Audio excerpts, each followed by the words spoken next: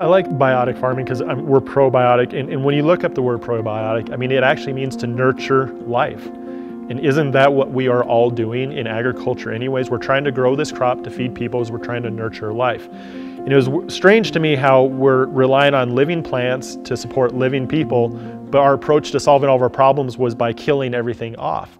And that was actually creating even more problems for us. So that would be the antibiotic approach. Gotcha. So we quit killing things, and now it's all about bringing more life in. So an example would be the aphid in the potatoes. They're a threat to us because they can spread virus, which is a problem when we're trying to grow certified seed. Well, the approach used to be, well, let's come in and kill the aphid because they're a threat. But that was causing other problems. And it's a threat to us too.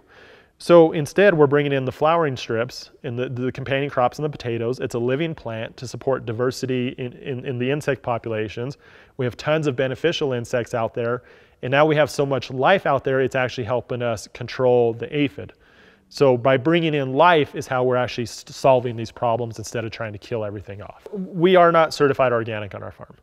And a big reason why is I feel like as soon as you go down that path, you put limitations on your operation because to me being certified organic is it's an indicator of what you're not doing and just because you're certified organic does not mean you're doing anything to promote soil health.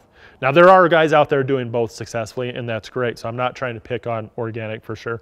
But it, it, it's just not a good fit for us. And i think especially with growing certified seed and some other things there's a lot of things that we're not allowed to do that would be very tough if we were certified organic. So for me, it's really about growing the best possible crop I can.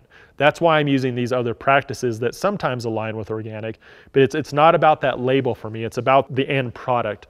And we're trying to grow the best quality product we can, we're trying to do it economically, and we're trying to provide a good product to the consumer. That's, that's our focus, not that label.